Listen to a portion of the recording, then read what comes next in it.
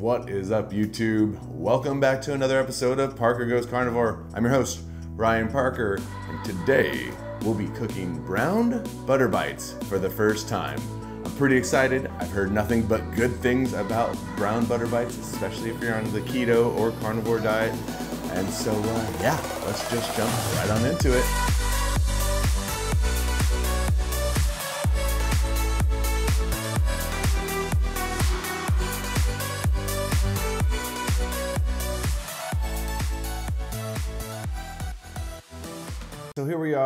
I got all my ingredients laid out, which I'm going to use, and we'll go over those in a little bit. But I wanted to talk to you about why would anybody want to eat just straight butter for a snack? And if that is at all surprising to you, well, there is a whole massive movement going on right now where people are only eating meat, eggs, butter, salt. It's called the carnivore way of eating or the carnivore diet. Keto's certainly been a trending topic as well. Carnivore just takes it to the next level. I have been practicing the carnivore way of eating now, going on my third year, and it absolutely saved my life. I have become so much healthier because of this way of eating, and it continues to just blow my mind on how good I feel and how much it has just improved my overall life just from the way I've been eating. So with that said, you should probably go check out my other videos. Last year I produced videos every week which documented my weight loss and my mental health and all my tools that I used to make sure that the carnivore diet was a success. And two videos in particular, which you should check out, one of these, I documented my first year of the carnivore diet and how much that helped me and what I changed and where I came from. And then the second year on carnivore and how much I improved overall over the course of last year. So that's where I'm coming from. When I think of a snack, you know, I'm not craving sugar anymore. I'm not craving carbs. What I'm craving is fat.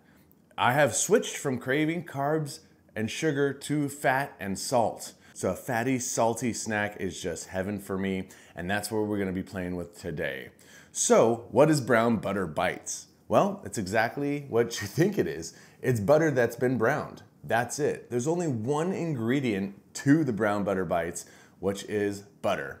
Now, what butter, you might ask? Well, you can pretty much use anything, but the way I cook my food and the way I drink my butter coffee in the morning, yeah, that's right, I drink butter coffee in the morning. I drink it with non salted, grass fed, grass finished butter, usually Kerrygold. Unfortunately, there's a massive Kerrygold outage right now, and Costco isn't selling it anymore. Safeway is not selling it anymore. So I've, I've been forced to go a different route. And I've picked up a couple different options of butter for us today to look at and talk about. So having a fat bomb as a snack really curves those sugar addictions if you're just getting into this carnivore way of eating or keto lifestyle. You want to avoid sugar at all costs. Even artificial sweeteners can really mess with you and it can trigger an insulin dump in your brain so you think you're getting the sugar and your body is changing to accept that sugar even though it's not really getting it. So the way I've been successful keeping the sugar cravings away is, is completely eliminating the sugar and artificial sweeteners in my life and it has had a profound effect. Brown butter, super simple. We're gonna heat some butter up. We're gonna change the consistency of it. We're actually gonna brown some of the milk and it's gonna turn into this brown particulate at the base of the butter. I hear it's gonna smell amazing. I'm really excited for that. Excited to just try this out and see what everybody's ranting and raving about. So let's take a look at all the tools that I have. It's so simple. You don't need all these tools to do it. You don't even need grass-fed butter to do it. You just need butter and a pan and you should be good to go. But this is the way I'm gonna do it.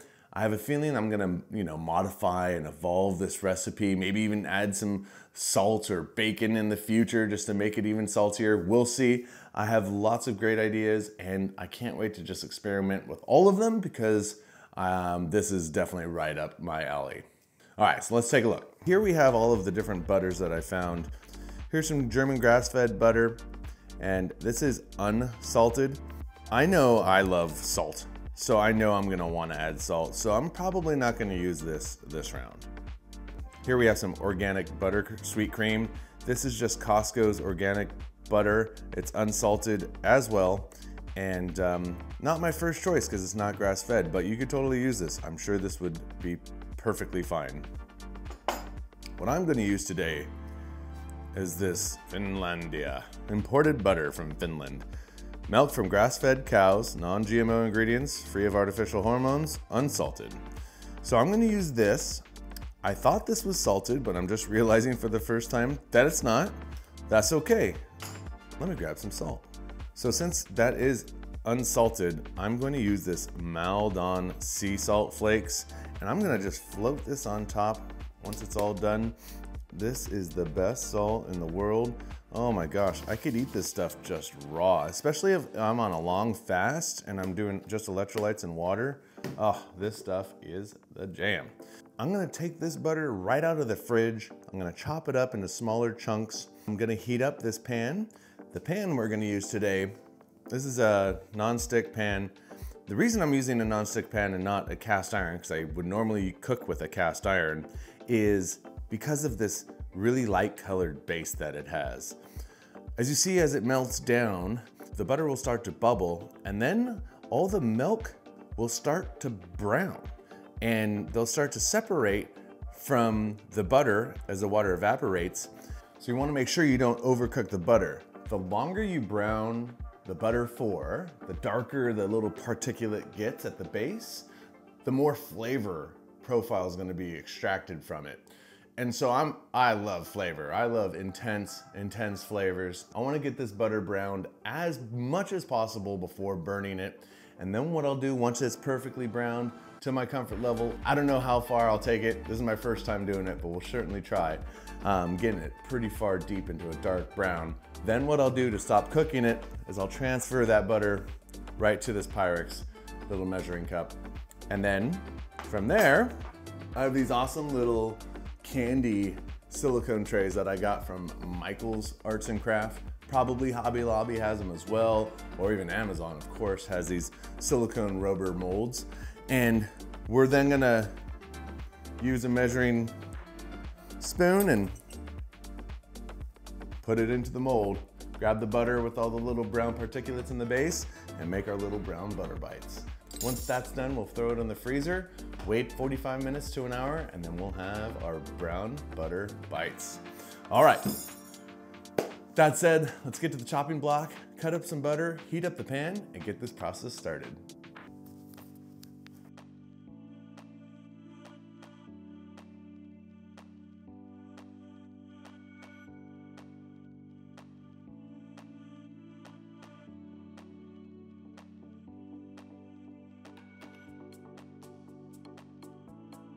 So chop the butter up, have it a little more evenly spread out. I'm sure this is a giant, giant waste of a step, so maybe I'll just try throwing the whole stick on there. Seems like it would, wouldn't make a big difference anyway, so. Um, mm-mm-mm. Butter, butter, butter. Love me some butter. The trick to this is just keep stirring. Just keep stirring, just keep stirring. And you want to keep stirring because you don't want to burn the butter. Simple as that. Um, you know, we got, we got a little bit of time here before it melts, but so what will happen is the water will start to evaporate from the butter and then it will foam over. Then once the water starts to evaporate completely, that's when we'll start to see some brown particulate at the bottom, some little just brown, it's gonna almost look like sugar almost, like burnt sugar. Once again, this is my first time doing it, so I'm not sure, but I've seen enough videos and, and read enough little blog posts on, on what it's supposed to look like. So I'm confident that um, it should be blatantly obvious of when it is. Oh my gosh, that smells so good. I wish you could smell this right now with me. It is so good. I mean, come on, it smells like you're walking into the movie theater as a teenage kid. Mmm, that is awesome electric stovetop, which isn't the best, but it has this dual zone thing. So I got, I got maximum surface area on this pan right now at a medium heat, and we're just gonna let this evenly cook down and start to melt, and then it should start to bubble up. And I bet you it's gonna smell even better when that happens. Benefits to fat over sugar. Well, pretty much everything. Our bodies need cholesterol. It needs fat to survive. I mean, after all, you know, mother's breast milk is pretty much all fat. That's what we needed to consume to build that brain up at first section of our lives. It's essential to all of our organs. Every cell in our body needs cholesterol. And sugar is just not natural. You know, of course, you can find it in fruits. You know, all the sugar that we're eating these days is just horribly mass produced in so many different forms. It's so chemically treated. It's, you know, built out of a lab in some senses and so far from the true nature's way of producing sugar that it's just not healthy for us. And it's found in the ultra highly processed foods that are surrounding us.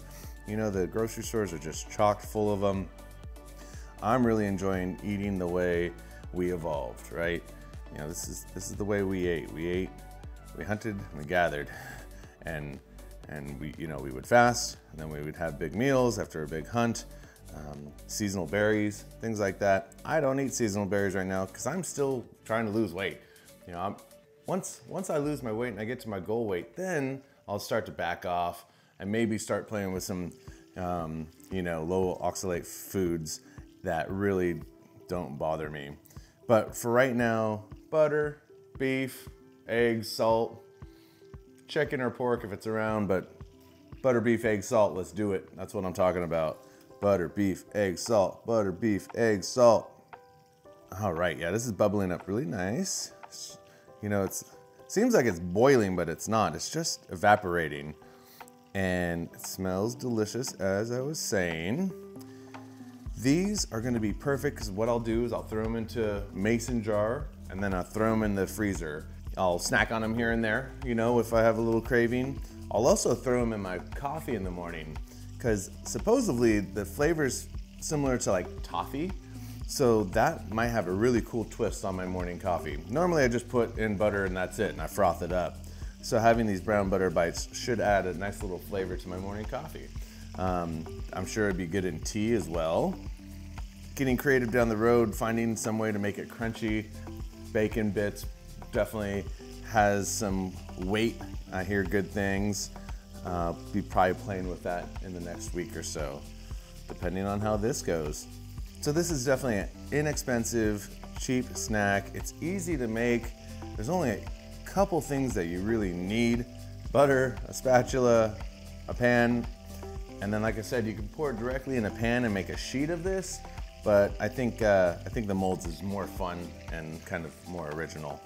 Uh, have a little design. It just makes it, makes it more fun. Tell you right now, my dog's super interested in this. she was like, what are you doing up there? That smells really good. All right, wow. So I can kind of see it. It almost looks like shadows from the bubbles on top, but it's not. It's actually part of the milk solids, and those milk solids are actually being toasted almost. They're being browned. So that is super cool. Yeah, you can really start to see them come out now. So I know we must be getting closer to the end than on the other side. So this is probably the most critical time where you really need to watch it and make sure you don't overcook it or, or leave it without stirring. Keep on keeping on. But yeah, that's so cool. You can see this particulate really come through now. And it looks like just little granular pieces of sugar that's been browned, but instead it's milk that's being browned. I like that. That is super cool. So once again, the longer you leave it in, the more flavor you're gonna get. And then it gets to a point of no return, then it quickly just blackens and gets burnt. So that's turning pretty dark here. I think, think that's about it. Hmm, I don't know. Kinda wanna keep it going. Nope, I'm gonna pull it right there. That looks awesome. All right, so now what I'm gonna do is I'm gonna pour it into, let's get this over here, turn that off pour this right on in. Nutty flavor. smells like toffee and butter in here. That's super cool. A little, little dark. Hopefully they're not too burnt. We'll see. All right. So now that is done. We're gonna take this and go pour it into our molds. So I'm making sure I get some of that brown from the bottom and fill these up. Some of these molds are bigger than others, so I just want to make sure that I make it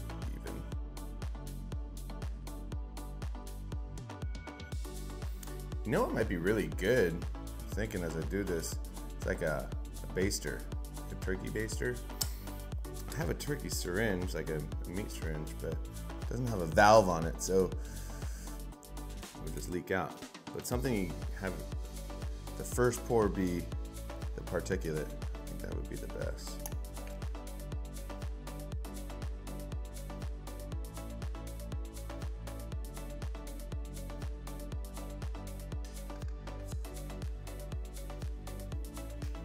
So now that that's done, let's go throw it in the freezer and let it cool down and coagulate.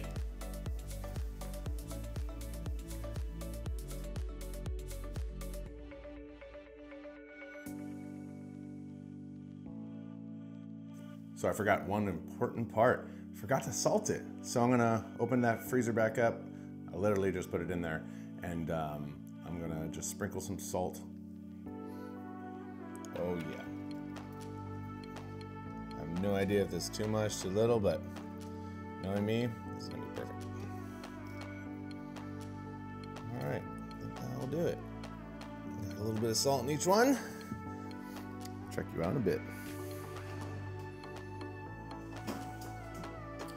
All right, it's been about 45 minutes. These brown butter bites should be nice and butter colored again, not translucent. And let's pull them out, get them out of their trays, give one a shot, huh? The other look. Oh yeah, nice. Check those out. Just gonna press these right out. Oh yeah. Got my little music note. Let me pop all these out real quick.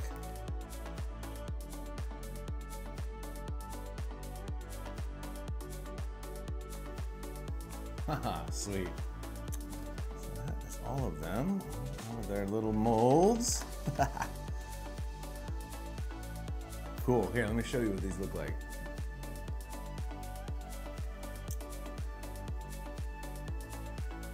So there you have it. Get the butter, and then it almost looks like chocolate. That's all the little brown milk solids that got toasted. And the little, the little robots. Super cool. Well, there's only one thing left to do. That's to give one of these little guys a shot. Oh, this is a nice dark one. Let's see. Mmm. Oh, whoa. Mmm. Oh my gosh. That is incredible. Mmm. That is dangerous. But I don't see myself just pounding these down.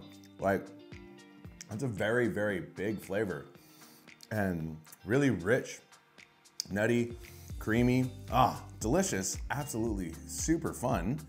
And I'm a big fan. I'm a huge fan. That's awesome. How cool is that? So what I'm gonna do now is I'm gonna throw these into a mason jar, throw them in the freezer, and they'll be good to go. They'll keep for a super long time, and whenever I would like one, just pop one out of the freezer, and there you go. Wow, that's incredible. Really, really enjoy that.